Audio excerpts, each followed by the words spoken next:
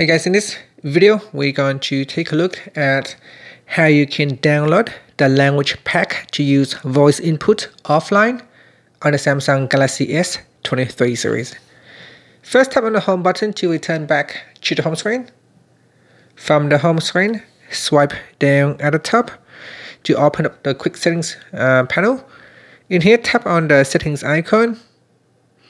Then in the settings page, we scroll down and tap on General Management. Next, go down and tap on Voice Input.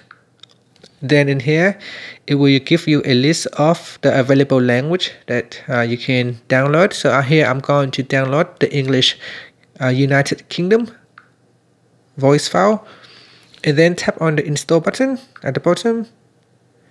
Now this uh, language pack will uh, take up 135 megabyte of storage space.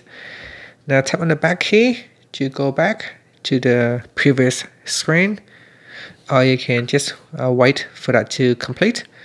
So here it is near completion. So we just got around 1% to go.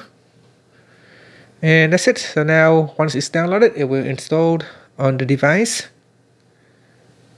So it is now installed. So I can tap on the back key and you can see once it is uh, installed and available for you to use offline, the option will be grayed out.